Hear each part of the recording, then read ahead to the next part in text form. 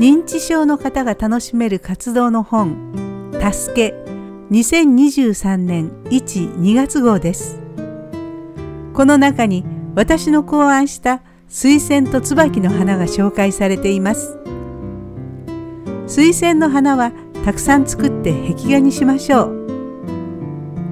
作り方の説明は図と写真入りでとてもわかりやすくなっています。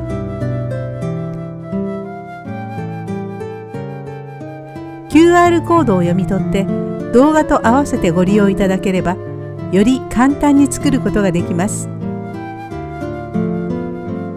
椿の花は扇と組み合わせた正月バージョンです。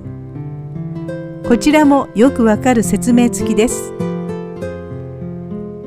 先ほどの QR コードから動画も見ることができます。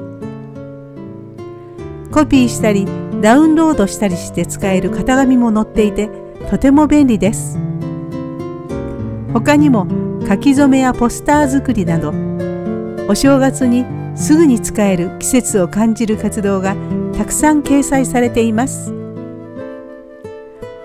認知症の方を笑顔にしたいスタッフの皆様にお勧めいたします。ご購入の方法などは説明欄のリンクをご覧ください。